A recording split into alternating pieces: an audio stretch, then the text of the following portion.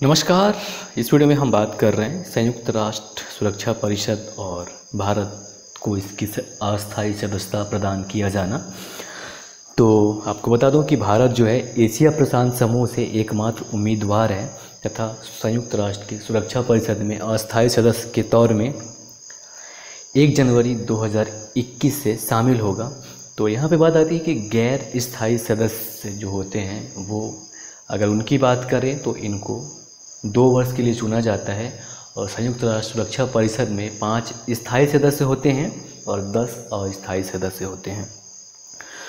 तो अगर हम बात करें कि गैर स्थायी सदस्यों का निर्वाचन किस प्रकार होता है तो आपको बता दें कि हर वर्ष संयुक्त राष्ट्र महासभा कुल 10 अस्थायी सदस्यों में से पाँच गैर स्थायी सदस्यों का दो वर्ष दो वर्ष के कार्यकाल के लिए चुनाव करती है। जैसे अभी 17 जून को भारत को चुन लिया गया तो इस वर्ष भारत को नहीं, बल्कि एक जनवरी से भारत सदस्य माना जाएगा। ये होता है। तो हम, यानी कि हर वर्ष पाँच सदस्यों का चुनाव कर लिया जाता है, जिनको अगले वर्ष से सदस्यता दे दिया जाता है। क्योंकि हर दो साल के बाद जो सदस्य होते हैं, उनकी सदस्यता खत्म हो जाती है।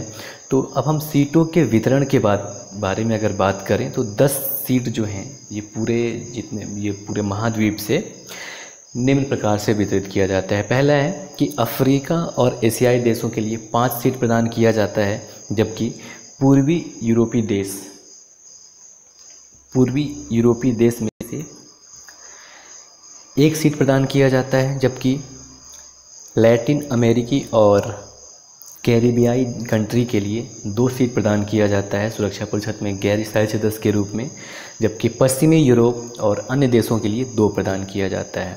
और यहाँ पे ये भी ध्यान देना है कि अफ्रीका और एशिया के लिए जो निर्धारित पाँच सीट हैं, उनमें तीन सीटें अफ्रीका के लिए हैं और दो सीटें एशिया के लिए प्रदान की जाती है। इसके अलावा ये दोनों समूह, यानी कि एशिया समूह और अफ्रीका समूह, आपस में एक परस्पर अनौपचारिक सहमति से एक सीट अरब देशों के लिए आरक्षित कर दिए हैं और अफ्रीका तथा एशिया प्रशांत समूह प्रति दो वर्ष में बारी बारी से एक अरब उम्मीदवार को प्रस्तुत करते हैं। अब हम निर्वाचन की बात करें कि इसमें निर्वाचन कैसा होता है तो सम संख्या वाले वर्ष से आरंभ होने वाले अस्थायी सदस्यता के कार्यकाल के लिए चुनावों में दो अफ्रीकी सदस्य तथा पूर्वी यूरोप, एशिया प्रशांत, लैटिन अमेरिका एवं कैरेबियन क्षेत्र से एक एक सदस्य चुने जाते हैं, जबकि विषम संख्या वाले वर्ष में शुरू होने वाले, यानी कि जैसे अभी 2020 में जो हुआ तो इसमें क्या होगा कि दो अफ्रीकी सदस्य, एक पूर्वी यूरोप और एशिया प्रशांत से एक,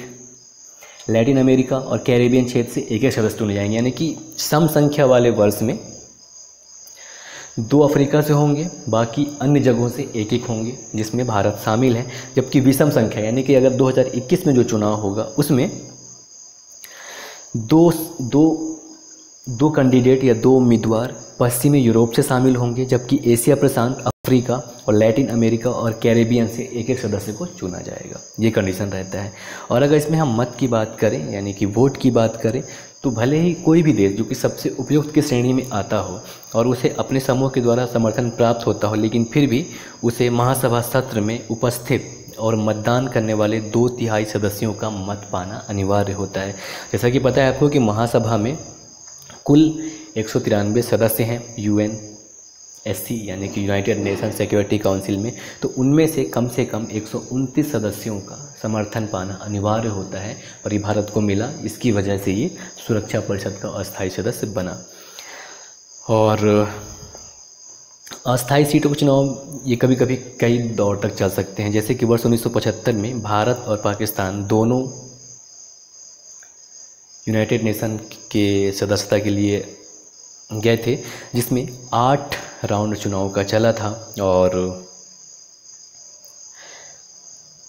फिर उसमें पाकिस्तान को सदस्यता मिली थी और वर्ष उन्नीस सौ छियानवे में भारत जापान से चुनाव में हार गया था।